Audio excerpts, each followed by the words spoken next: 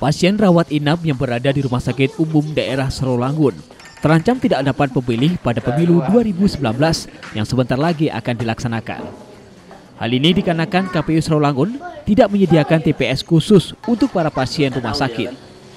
Ditambah menurut aturan terbaru, surat suara tidak lagi diperbolehkan dibawa ke tempat warga yang sedang sakit karena semua sistem pemilihan dilakukan di TPS yang sudah disediakan. Menurut Ketua KPU Serolangun Fahri, pasien dapat memilih dengan cara pindah milih ke TPS yang berada di desa yang dekat dengan rumah sakit. Dan batas terakhir pendaftaran pindah pilih paling lambat tanggal 10 April 2019.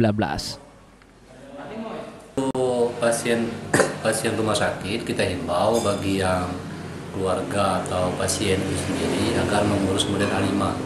Mengurus model A5 itu berdasarkan putusan Mahkamah Konstitusi nomor 20 tahun 2019 eh, bahwa pengurusan BPTB itu paling lambat Hamin 7.